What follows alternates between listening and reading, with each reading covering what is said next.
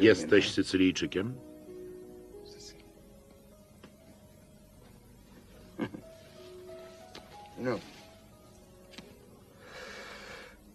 Dużo czytam, szczególnie książki historyczne. Fascynują mnie te bzdury.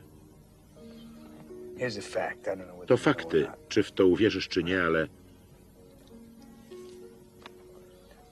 Sycylijczyków spłodzili czarnuchy.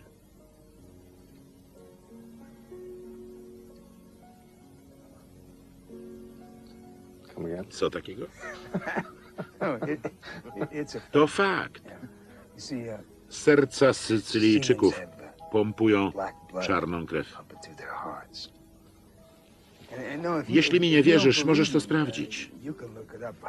Wiele setek lat temu Sycylię podbili Maurowie, a Maurowie to czarnuchy.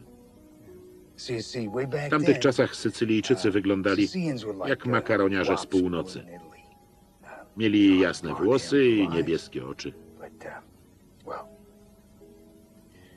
Ale wtedy pojawili się Maurowie i zmienili oblicze kraju. Bez opamiętania rżnęli wszystkie sycylijskie kobiety. W ten sposób na zawsze odmienili ich krew.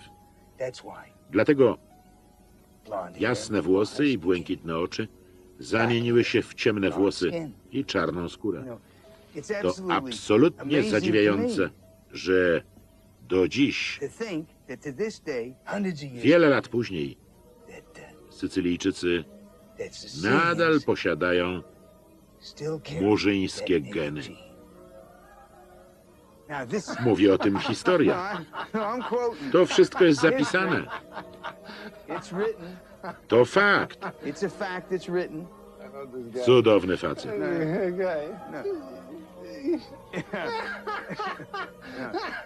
Your ancestors. Twoi przodkowie byli czarnuchami. Hey. yeah. And, and your A twoja pra, pra, pra, pra babka pieprzyła się z murzynem. Oh, i rodziła mulatów.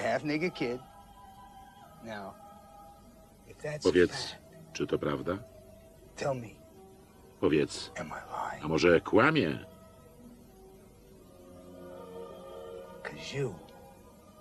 Jesteś do połowy czarnym bakłażanem.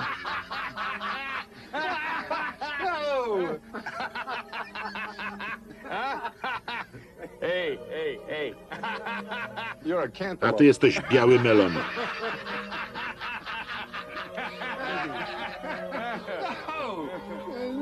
To było cudowne.